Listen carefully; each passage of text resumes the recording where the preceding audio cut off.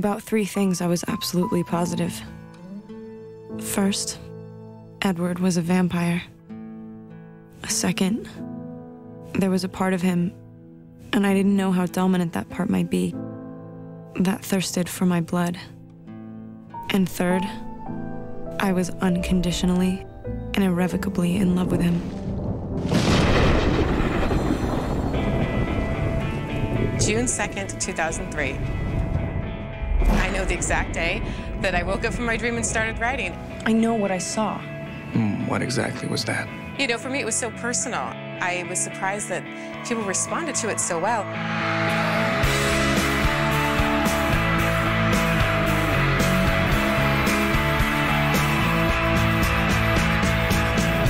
Ladies and gentlemen, give it up for the creator and author of the beloved series, Stephenie Meyer.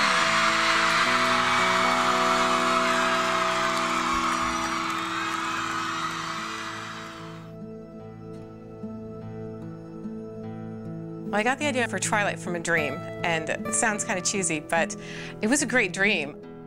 The meadow scene in the novel is basically the dream that I had, and when I woke up, I wanted to know what would happen to them next. You know, how would they work out this situation? I've never wanted a human's blood so much in my life. I trust you. I was afraid of forgetting the dream because it was so good. I sat down to write it out. And so that first day I wrote 10 pages and pretty much all of chapter 13. And then after that, I just wanted to know what was going to happen. So I never sat down to write a novel. It was just a chance to kind of play with the characters in my head. And when I finished it, no one was more shocked than me that I'd actually finished a book. it came very suddenly and unexpectedly.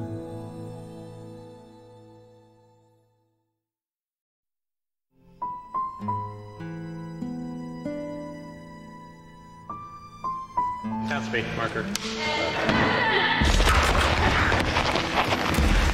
When I was writing the novel, I saw the whole thing in my head like a movie. It was a very visual experience, and so I really wanted to see it brought to life.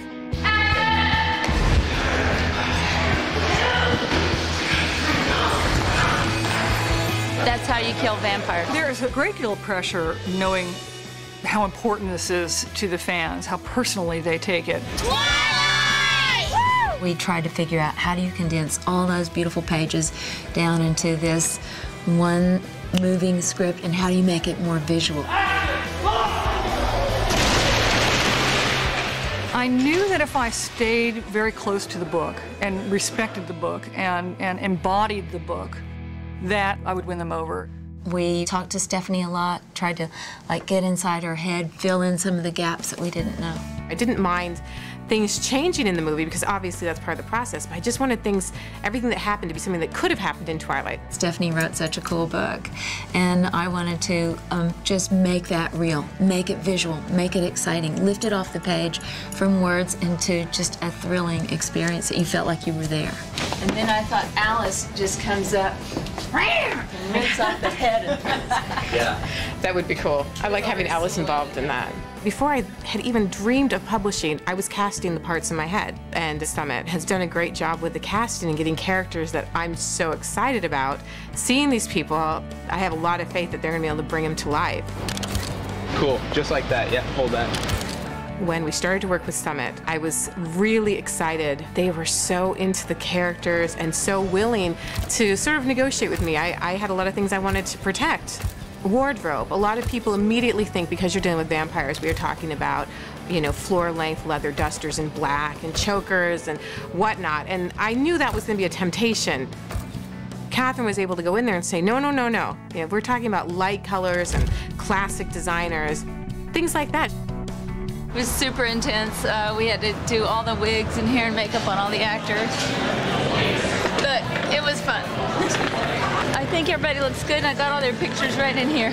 I brought cool photos to show you guys. Yeah, that is oh fabulous. When I went to Stephenie Meyer's book signing, I saw that there was every kind of person there. Every color, size, shape, age were all there into her books. And so I thought it would be exciting if this movie represented her readers and her audience and the diverse, you know, beautiful people that read her book. So we're having a casting call for Twilight here. We were looking for, you know, a wide variety of extras, background, featured extras, stand-ins, photo doubles for the cast. Uh, it's very important to Catherine, the director, that we have a lot of locals, give everybody the opportunity. It's an exciting project to be shooting here. Woo! They were lining up today, starting at like 9 in the morning. Yeah! Uh, looking for a wide variety of people that want to have the opportunity to be in Twilight. Okay, rehearsing and action. Come on. Stay there. Smile. I can't believe you're making me do this. Smile.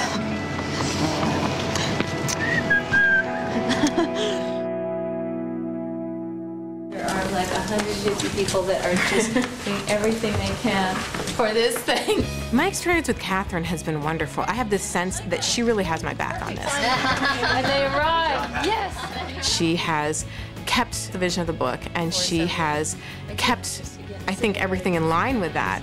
Visual effects are in here. Catherine was really great about just sort of cutting it really fast and wanting to get in it and see see temp versions of a lot of the shots so she could see what the film looked like. Right from the beginning, we, we work with conceptual development to come up with some concepts of previs. What we did is we actually went and modeled the environments as well as the characters in 3D. So it was sort of like a, looks like a video game sort of mock-up, and we actually animate the characters. And is that the the restaurant there by That's- the waterfall? yeah. Looks really good already, just in the rough shots. It looks amazing. The process of putting the book into a movie has been really exciting. It's also um, a little frightening for me. You know, this is my baby. The barometer that I've used uh, are the Stephenie Meyer visits. yeah, I like that analogy. And the fact that she is so thrilled with everything she's seen, that's the strongest vote of confidence, feeling that we're doing the right thing and delivering to her audience what she so effectively delivered in book form. Is this what you picture? This looks just right. It has that unreal feeling. It's so unusual. Say it.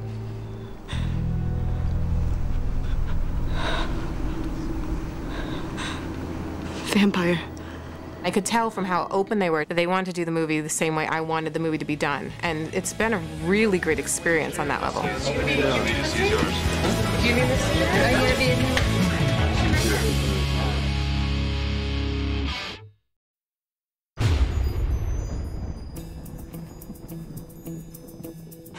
Have a lot of things in common, things that they agree on, but they're very, very different, and they've kind of come together each for their own reasons. You have Carlisle, sort of the, the rock of the family, who's just a great person. As a vampire, he has pure compassion for everyone. And then Esme, of course, they're a family because she loves everyone so much. all that warmth and all her love and all her passion when she became a vampire just became even more palpable and, and potent. Then you have Rosalie, who doesn't like what she is, but she's gonna be better than anyone else anyway, because that's what she does. and Emmett, who just is along for the ride, enjoys anything that life throws at him. So if he's gonna be a vampire, okay, he's gonna have fun with it. There are a few characters that have abilities beyond the normal strength and speed and agility that the vampires have. For the most part, it's mental abilities. It's not so much, you know, shooting fireballs out of your hand, but it's the ability to have extra perceptions that other people don't have. I'm Alice. Oh, I wish she was real. I would love to have a best friend like that. She brought with her premonitions uh, so she can see the future, which is awesome. She uses it to help save her brother's love and to, to help the family. If you had an Alice, you had to have a Jasper because she needed someone special and different to complete who she was. Jasper's ability is to calm, especially when you have a house full of vampires that are trying not to eat humans and they're going to school with humans. It can raise a lot of those animalistic tendencies. And so what Jasper's ability is, is to calm that. It all sort of came together like this is how it was supposed to be. Who's he? Oh, Edward.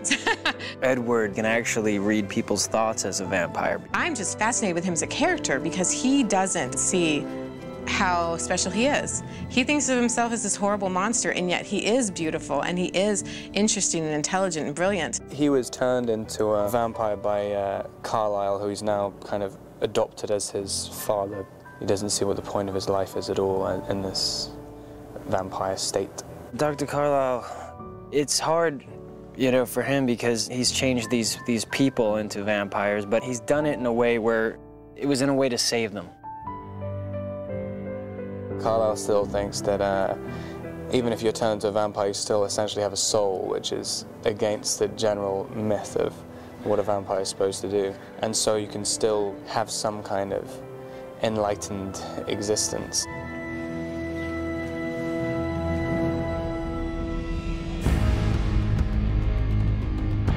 Who are you? The group that James travels with, they're more eclectic than the Cullens. I don't really think of them as bad vampires. I think of them as your average vampire. They don't think anything of killing a human because that's how they live. We thirst for human blood. That's what we have to eat in order to survive. Whereas the Cullens are slightly more evolved. They've learned how to sustain themselves off of animals, which pretty much makes them vegetarians. We're not vegetarians. We're carnivores. And they're permanent residents where we just we just go all over the world and wherever we need to go. The nomadic vampires are frustrated by the Cullens because they're not embracing who and what they are. They're abstaining. Here's this group of vampires who are maintaining these, these human confines, these mortal societal rules, and it's very strange to the three of us. We'll go now. James. It's the very simple notion of treating vampirism as a blessing versus a curse. The Cullens are treating it as a curse, uh, but one that they've learned to manage. And if they live in a group where they can sort of monitor one another, there's a way that they can do it and do it well. We're so much stronger than them because we choose not to be that. And because we choose not to be that, then we almost become human beings that are immortal. We do go against the grain. We've really learned to subdue our hunger. We're kind of the uh, the freaks of the vampire world, if you will. Every other vampire in the world is looking at us like we're trying to be something that we're not, that we're fighting something. And I think in a lot of ways it's true. Whether you want to be rebellious or whether you want to conform, I think it all really boils down to choices. And every teenager goes to these choices and where they want their lives to end up. The idea of these creatures who are so strong, so powerful, and yet try so hard to be good when they really don't have to. And I think that appeals to a lot of young people. You can be whatever you want, no matter what stereotype you fit into. You don't have to go by those rules.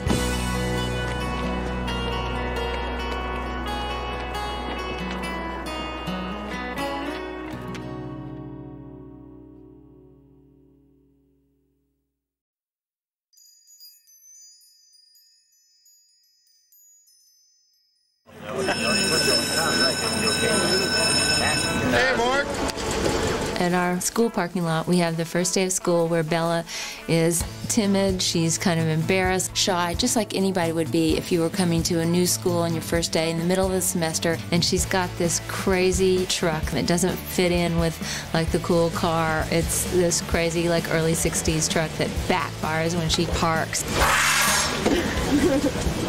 Bella is a shy person. She's just mortified. So that was an, a fun scene for us because it really sets the tone. Nice ride. Everybody notices her and she just kind of slinks away and suddenly out comes Eric who wants to, you know, give her the tour and put her in the newspaper and she's just kind of like overwhelmed with all this like unwanted attention. I'm on the paper in your news, baby, front page. Oh, no, I'm not. Actually, if you couldn't do that, whoa, it'd be better. Whoa, whoa, okay, uh, chillax. Uh, no feature. Everybody is interested in Bella. So I think that's the reason why I go in for the, you know, attack first because I feel if I'm the first one, then maybe she might just like cling to me. And we cut there. Check the gate. The gate's good. We're moving to the gym. Welcome to Forks High School. We're doing the volleyball scene where Bella shows that she is not the most coordinated kid on the planet. Hey, Mark. Action.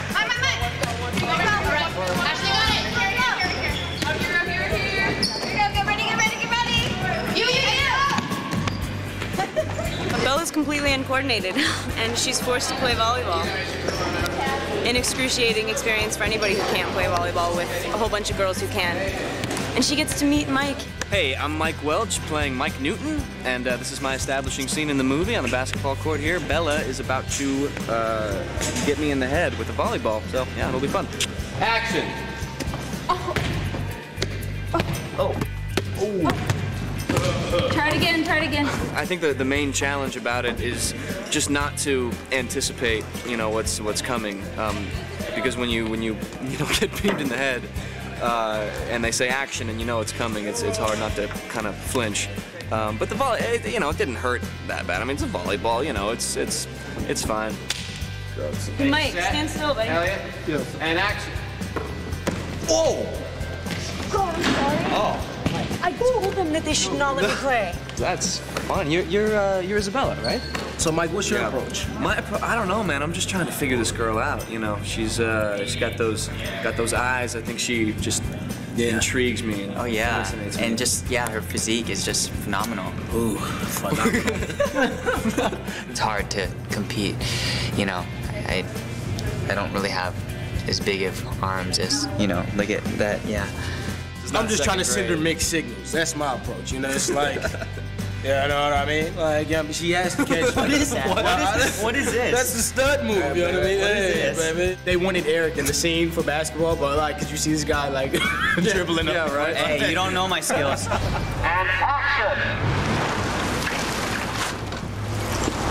And cut. We shot a scene today where Edward comes in and saves Bella from getting crushed by a van, and it's inexplicable. She's been thinking about this guy for the last couple weeks anyway, but now it becomes a completely different thing. The van crash scene is one of the most pivotal scenes in the book. We want to get down and get the intimacy kit shot. You had to get that amazing connection where Bella is really realizing he did something extraordinary. She sees that it's not just superhuman feelings that she feels for him. He really is not human. Edward puts his hand out to stop the door. So to make that impact, we had this soft, flexible, molded door that he could stop it and, you know, make that cool effect. Bella! Bella! Oh my God! Are you, are you okay? What happened? Hold on! Give me your phone. okay? I've got 911 on the phone now. Bella, you okay?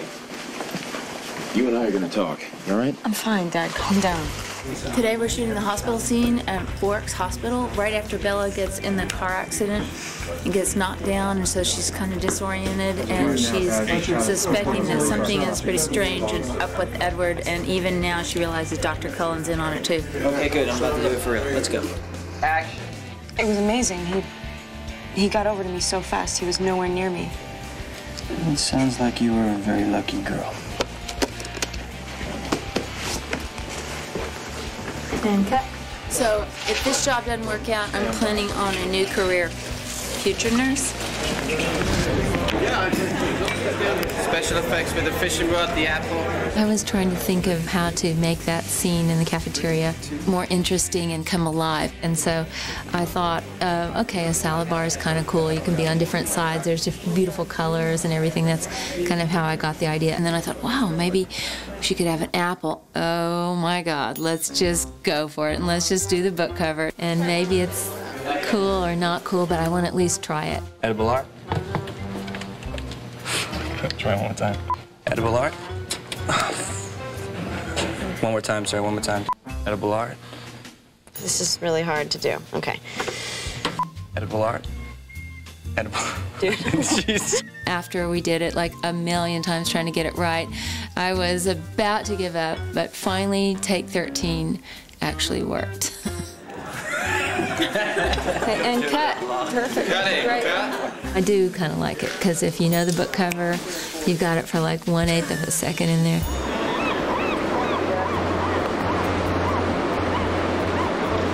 We were all looking so forward to going to La Push Beach because we thought this is the one time there's no vampires, the sun would come out, and it can be just beautiful. Then you get to the beach and it's extreme weather conditions.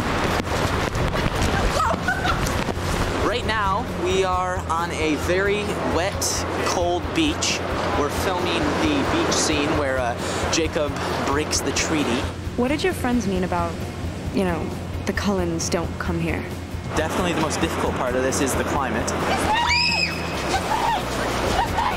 We're here pouring up. We've got a tsunami, but we're still filming. You better go ask the actors that question. Uh, we're getting pneumonia. That's what we're doing. That's why we moved the second scene up into these vans. We love our job. It's glamorous.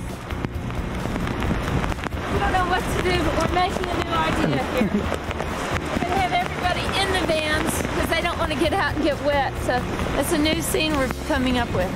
I started going around to these surfers, hey, can we borrow your van? Can we borrow your van? And we had the actors sitting in the van so they wouldn't be quite so freezing. I mean, this was quite a wet day. We suffer for the enjoyment of others. Here we go, shooting now. Hey, Mark. Bella. Hi, this is Jacob. Hey guys. What's up? Yeah, the scene's going very good. Um, we've met our two other Wolfpack people, and um, oh yeah, boy, are they interested.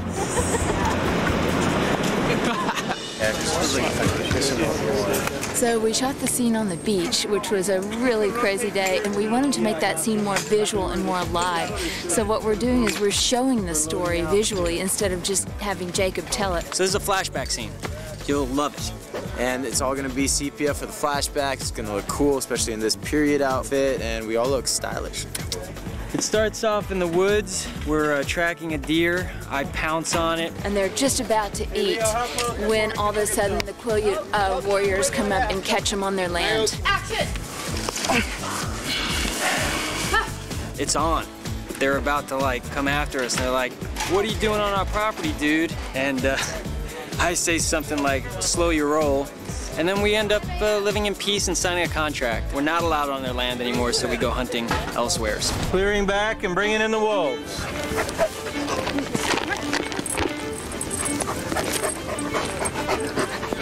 So one of the favorite things about the book is that Jacob's tribe, the Quileutes, are descended from wolves. So instead of just hearing that, we kind of wanted to see it. We'll take a little misty foreground. Roll when you've got an image. The wolves are such a big part of the next several books. So we got our cool real wolves here today. Ron, stay. Ah, ah, ah, ah. Sarah? They're like Ricky, Randy, Tom, Sarah.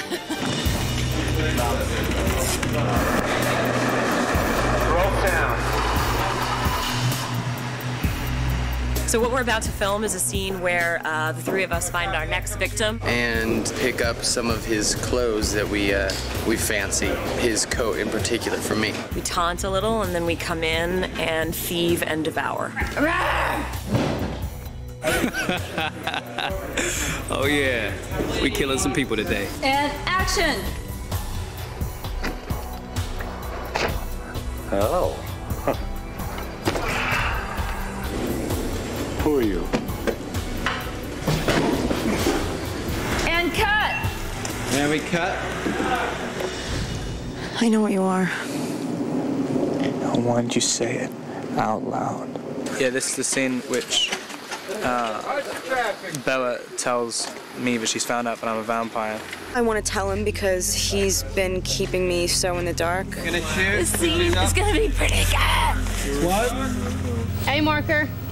Action! Say it. Vampire. Are you afraid?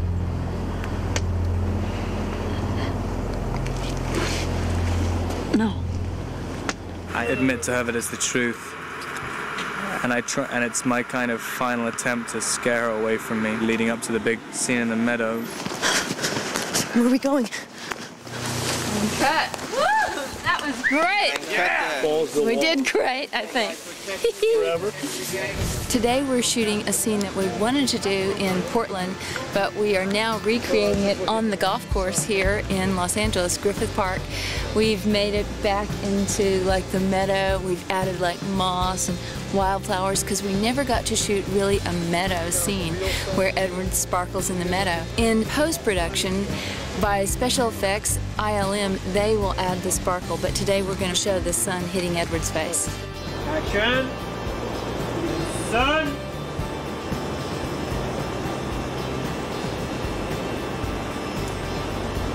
And crane. Cut. Cut. Good one, huh? Cut, cut.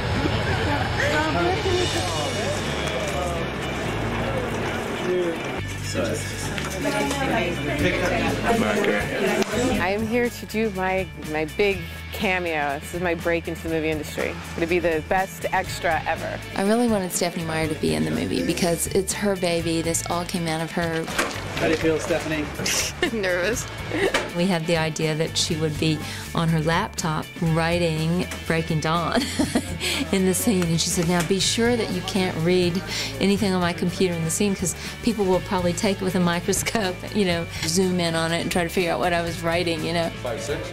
They wanted to give me lines, actually, but I so don't want to screw this movie up just by being in it, so I'm hoping to maintain a very low profile. Background and action. I can't get over how grown up you are. And so gorgeous. Great. That was excellent, you guys. I think she's awesome and she looks so good and she's got her vampire blood red shirt on, you know. And action.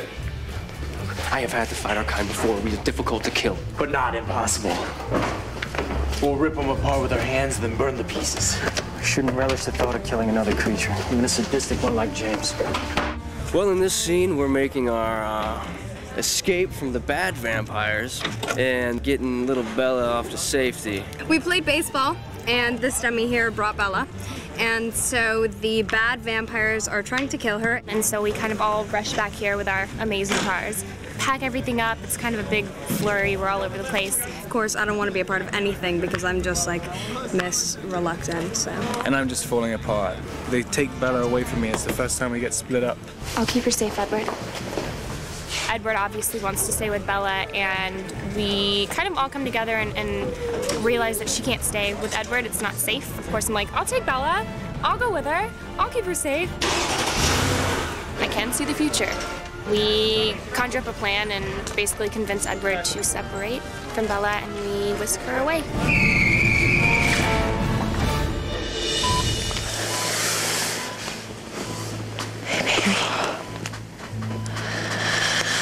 Hey. So today we're filming the final hospital scene, you know, where Bella has just come out of her trance and she doesn't know if she's alive, dead, a vampire, a human. She has no idea where she is. So we're right now doing a shot where we're starting out of focus and she finally focuses in on her mom. Right into the lens. Hey, Mark. Okay. I'm just so happy you're awake. Go with the nurse and tell her, okay? Her mother's there, so I'm I'm pretending to be sleeping in, until I can see what her uh, situation is. And uh, when's the kind of big reconciliation between the two characters. I'm right here.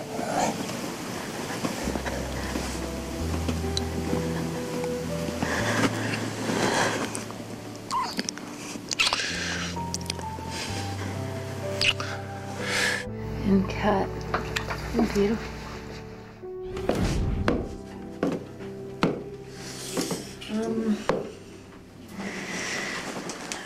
Alice lent me the dress. The cast is. You look perfect. Tonight, Bella's going off to the prom.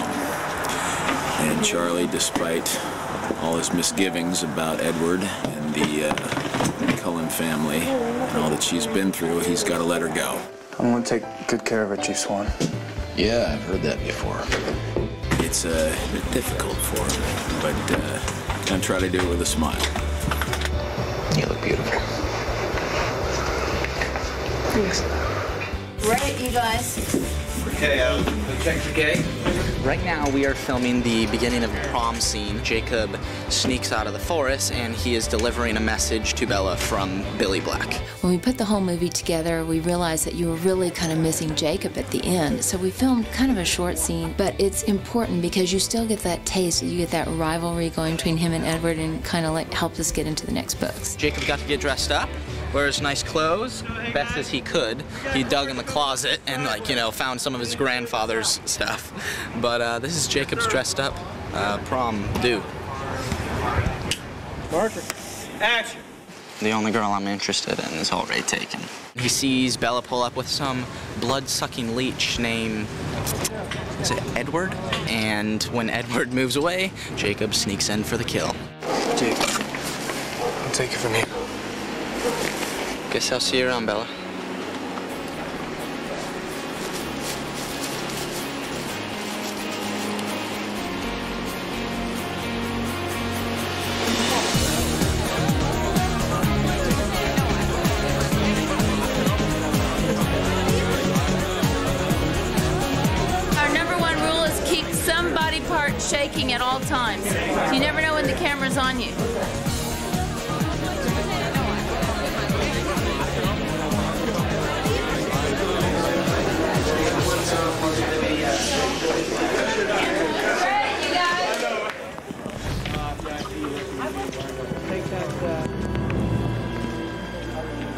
So tonight we're trying to do um, our final scene in the movie at the prom where Edward and Bella are out in this kind of cool gazebo with all these different lights and we're on a turntable and they're dancing and Bella asks him uh, to turn her into a vampire. So we're gonna see if that happens tonight. we're not sure yet. It's 2 o'clock in the morning or whatever it is. It's freezing cold. it's raining. Yeah! It's going cold. really cold. There's many, many problems. Rob fell? No, I didn't see Rob fall. I wish I did. Hey, Mark. Action. Shall we? You're serious. She has a broken leg, so I manipulate her into dancing, um, like making her stand on my feet. Edward, why did you save me? You just let the venom spread. I could be like you by now. For me, it's like last ditch effort to sort of communicate, like desperately, that I need to live forever because you're gonna live forever. And it seems like he's like letting it all slip through the cracks. Is it not enough just to have a long and happy life with me?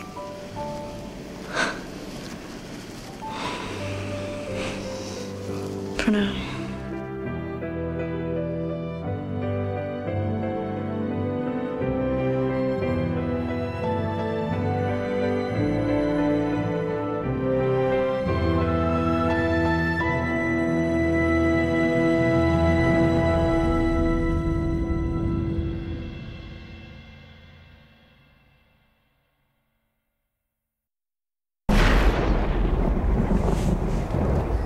Time. Ready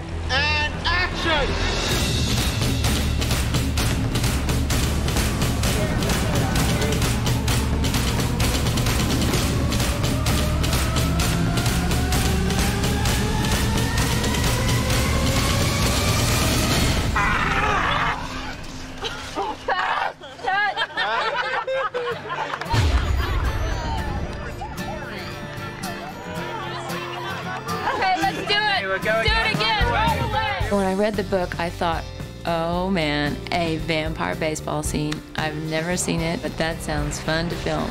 We have some, some clouds out today, so uh, we're very fortunate to be able to film. On a vampire film, if there's sun, it's not good. You have to go to cover sets, which is kind of backwards, because usually on films, when it's cloudy, you go to cover sets. But uh, not, not in a vampire movie. Okay, let's do it. What are we doing? We're out here at the baseball field, and we've got a pretty cool scene where the Cullens actually get to cut loose and have fun, come out and play baseball whenever it's thunderstorm and rainy. I mean, I haven't played baseball in like five years, so it's good. It's fun to get back into it. And swing. You know, I get to play a little bit. It's uh, all acting is is playing, really. Well, I get to be the pitcher, which is awesome. Uh, took like two weeks to get me to even know how to pitch. Ashley Greene learned to pitch. She'd never thrown a baseball, and we worked with her so that she really could, you know, look amazing. And Andy Cheng shot her in a particular way that makes it look like, holy cow, sign her up for the major leagues. Catherine's really big on shooting low res reference and a lot of her rehearsal sessions. They'd run through a few scenes with the actors if they're there, or even some stand ins if the actors weren't there, and um, cut uh, some of those together. And that was great for us because we would get to be able to see his visual effects, we'd be able to see um, what the plan was early on and very visually see what that plan is. It's time.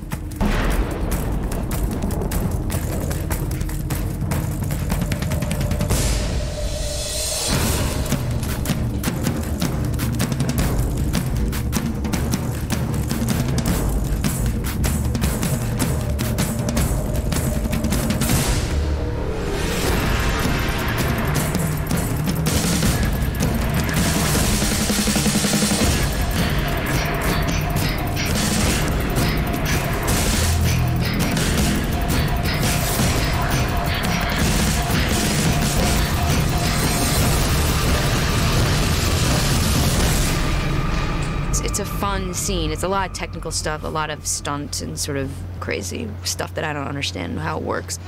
Who's got plastic balls? Raise your hand. Not everybody's a perfect pitcher, so to be able to like manipulate the balls later on in post, our special effects supervisor, Richard Kidd, said, let's put a clear plastic Christmas ornament in everybody's hand, then we'll replace it later in post. The balls have to be moving at vampire speed. You got to be catching them without gloves on. Um, we're going to put them in in CG. Well, to be able to do that is we need to make sure that when you go to catch, you don't end up with a hand like this. It's going to be real hard to catch it right the sides. So our first takes, you would see people catching like plastic balls so that he could track in a CGI ball and replace it. You're out. We have people sliding in the second base home. And we have a Lexan base with silicone spray with a shuffleboard wax. And then we're going to dress it with some sand and uh, see how far we can get them to slide. So I'll take off right here. I'm gonna slide that far. You hit it hard. I feel like a bowling ball. Great, here we go. Ready? Action, Peter.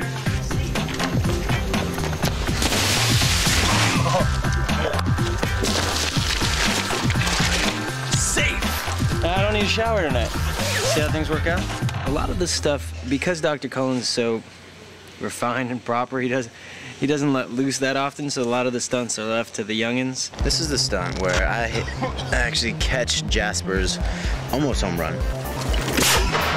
Run to the woods, climb a tree, jump 50 feet up into the air, catch it left-handed, land, he's out, throw it back to Alice.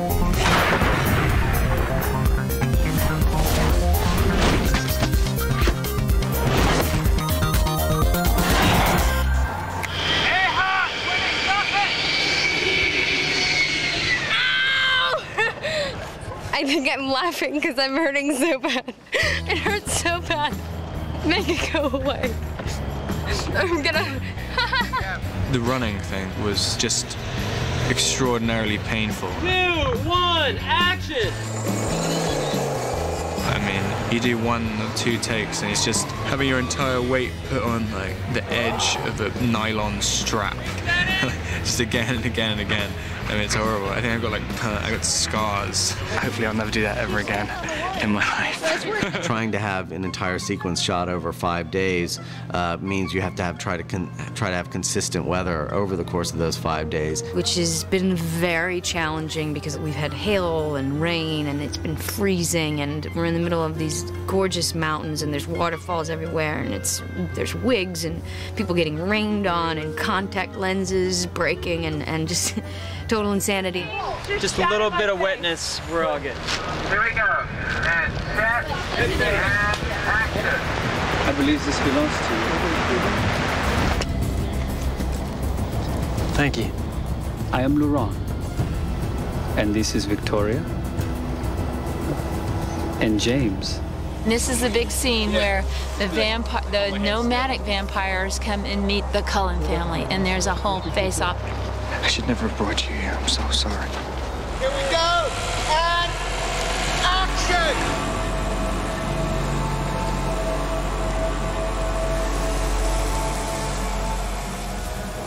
Today we're, we're testing out a, uh, a gag called the Margic. Margic? Close, but he meant to say the magic carpet. My favorite stunt so far is actually called the magic carpet, and it's basically a long plexiglass walkway that is pulled by a winch. So when we're walking on it, it really looks like we're walking 20 miles an hour. Three, two, one, action.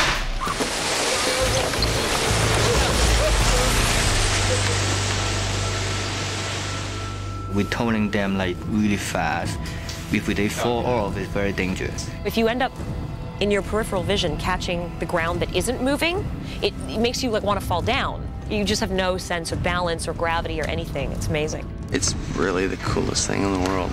Somewhere you'll see people who look kind of like us in the same costume, and those are the stunt people they're not using because we can do it. We got skills, baby. Okay, here we go.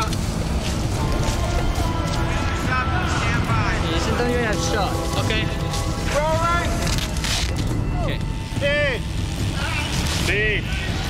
Action, Kevin. Action.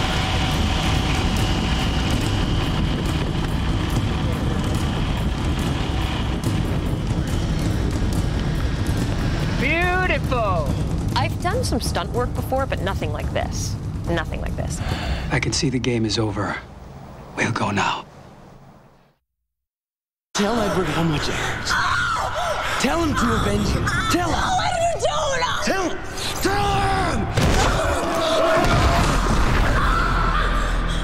Really excited to see the fight sequence. It's a lot more involved than I wrote it, which is exciting to me because there's some things that you're limited in when you're working in print and things that you can only do visually.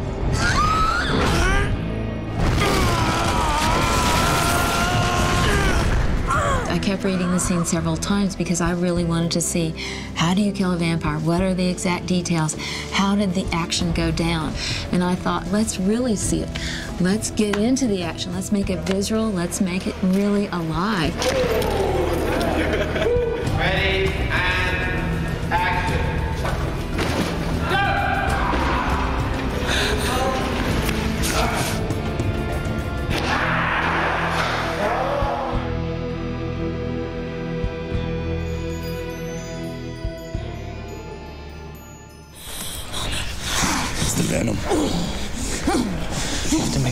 Let the change happen. I realized a lot of it in the book, it's told in a minimal fashion, and we kind of cut away from it because Bella has this venom possessing her body and loss of blood, so she's woozy and she misses certain action beats. Immediately, my mind started going into like cool stuff we could do in this ballet studio and how to make the ballet studio interesting. So I had an illustrator do some sketches for me of some of these ideas. And then when Andy Cheng came in, I showed him all these images. Andy got excited, like when I showed him this drawing and this. Let's try this. We could do this with wires. We could do this rig. And then Andy would go and do some of these scenes with the stunt guys. Here's something. He'd cut that piece together and you keep kind of honing it down, refining, refining the beats until the actual day you're shooting. We decided to shoot the ballet sequence first because there was an idea that we might use some of that sequence for marketing and we need to get a jump on the visual effects. And then our actor, Cam Gigandet, actually had another job right after that, so we had to compress all his work days into the beginning. I think it was very difficult for the actors because we hadn't had time to really organically develop the characters except in rehearsal. So on Kristen's first day, she had to walk into the ballet studio and confront the painful memories of her past and find out that, boom, her mother's not even there. Instead, there's James, most powerful vampire, and she's probably gonna die. I didn't realize until I started the movie what I was getting myself into. So the ballet studio, we have four days to shoot this with first unit, four days with second unit, and we have to keep in our minds the continuity because we get to shoot the part with the real actors and then we have to cut away. Second unit, after we finish, has to shoot the insert parts and then we do the aftermath. So we're like literally changing pieces of walls.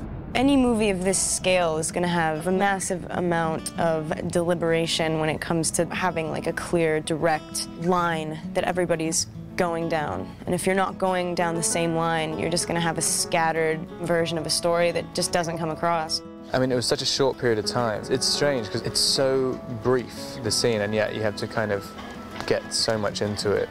It was very grueling that first week. Because you had to have about a million thoughts in your head at the same time and, and also be tugged around on a wire everywhere. Three, two, one, action!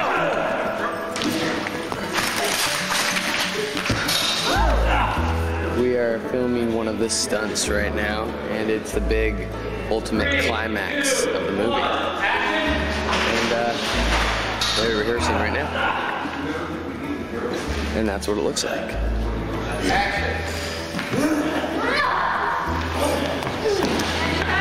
This is James when he gets torn apart by the Cullen family and thrown into the fire. We've rigged this dummy with breakaway arms and heads. You can rip these arms off and then you can put them right back together for take two. I am James. I am going to die in the fire. It's fun to play a vampire, I gotta say. In the ballet studio, we save the day. We get to jump down off the balcony, do some cool wire work. It's amazing. I've never been on wires, and you get to jump off a balcony 20 times and not die, you know? I do most of the programming for all the moves uh, that are computer operated on the winches. Right, anything that's a little bit more complex move, we basically put a large a weight on that's roughly the weight of the actor, um, fly that around first. So um, if things don't behave exactly as we expect them to, we get to see them with a weight bag instead of a person. Action. It's a lot out of your hands. You're really kind of trusting other people, but it's it's a blast, yeah. Cam Gigandet is incredibly, you know, physical and really knows how to do a lot of stuff. Did a lot of his own fighting in his last movie, so he was really comfortable getting on the rigs and fighting and holds himself well in the air. The fight training that I did on Never Back Down, it helps a lot with the just the fundamentals and being able to have the coordination to figure things out quicker than I normally would. Cam is every day saying, tell Summit to let me do my stunt. but I saw a stunt double do some of the stunts, and the guy did get a little bit cut up. I'm like, Cam, No, I'm not no, cutting no. your pretty face,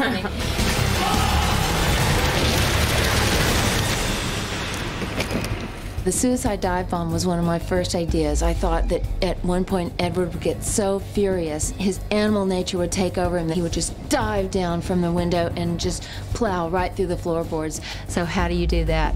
The wooden floor, we build a stage. The whole ballet set is built in a stage about about about the ground like a foot high. Um, of course, you have like breakaway wood, like balsa wood strips, um, planks that are pre-scored underneath so that they will break at points, but it's still real wood, and it's a guy's head hitting real wood, so it's dangerous, you know. And in fact, I think our guy got a concussion, but he was back at work the next day, and he said, "Hey, man, I'm a stunt dude." I'm Colin. I'm the James stunt double, and uh, what we're setting up for is it's part in the shot where James is sitting there and he just broke Bella's leg, and uh, and he's telling telling her to say, hey, you know, tell Edward to avenge you and tell him how much it hurts. Amazingly enough, for this broken leg, we're using the wooden splinter look. Yeah, very nice, but we get to put it over, add some blood, and there is your broken leg. Ow. Yeah, it's a good day today. Two, one, action. That's the fun part, you know, to get, if you can take the time and do those, you know, gags right uh, and have your actors in them, you know, it just looks great on screen. It's a breakaway window, uh, mostly balsa wood, uh, very few screws to not hurt the stuntman. Uh, got candy glass in it. Uh, we're going to have, I believe, three cameras rolling on this all at once. And um, pretty much it's going to be a big bang.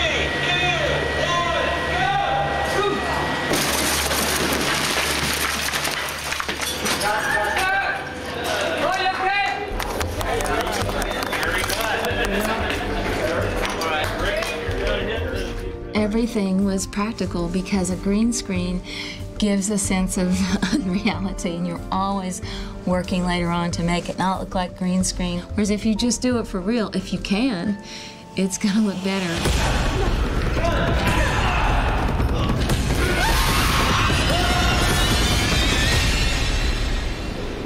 This is Hollywood.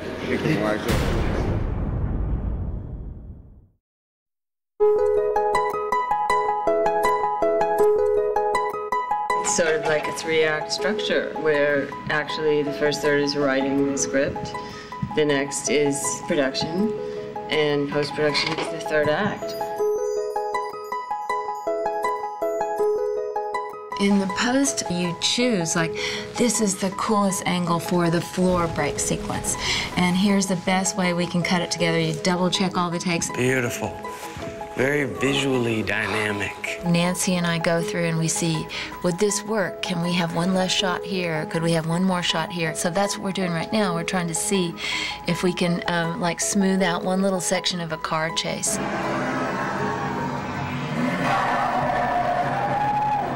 Also have the, you know, the whole uh, storyboards. Also, different scenes that we know we want to add rain. Like it wasn't raining in this shot, so I'll just like colored pencil in. I need rain here.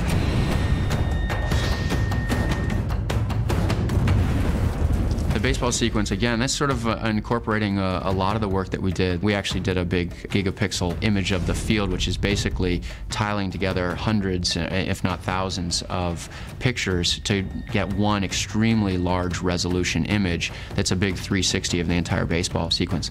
That way, later, if we did want to shoot some inserts, we would be able to go back to these still imagery and we'd be able to zoom in on them as much as we wanted and, and, and use those as our backplates.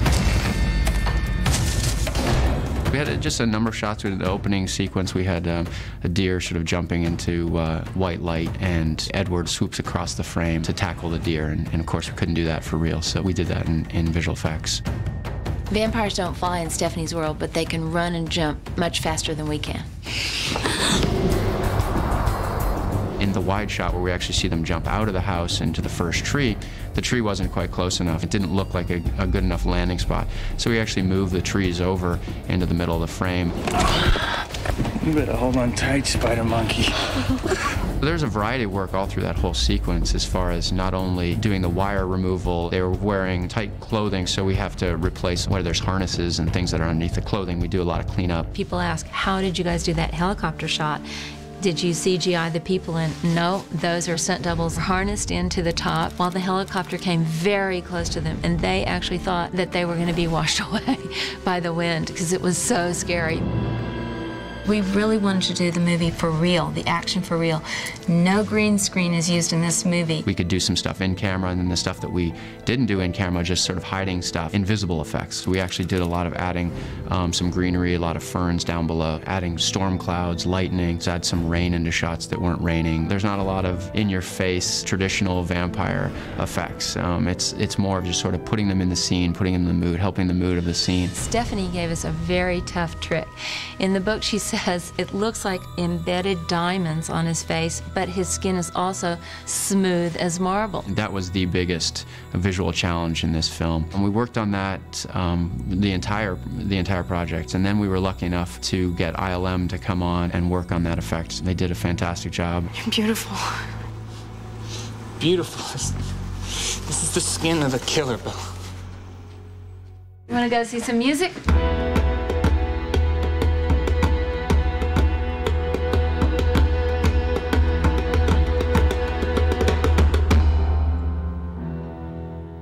I just got back from London and we were at the incredible Air Lyndhurst Studios and that's where Carter Burwell was recording the whole score for the movie. We had several themes, like we had what we kind of call like a predator theme or like the skin of a killer. That's kind of Edward's theme that you hear and you hear that at the beginning of the movie and it weaves through that it, you really feel that tension and that danger and that inner conflict. Cool. Very nice. Party! Woo! Today we're at Wildfire Studios and we are doing the final mix for the movie. So this is kind of like the little magic place where you, you bring it all together.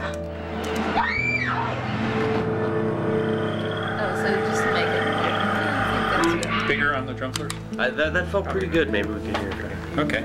We're just trying to get all the levels right, like, you know, the sound, the music, the sound effects, the dialogue, so that you feel all the feelings that you're supposed to feel.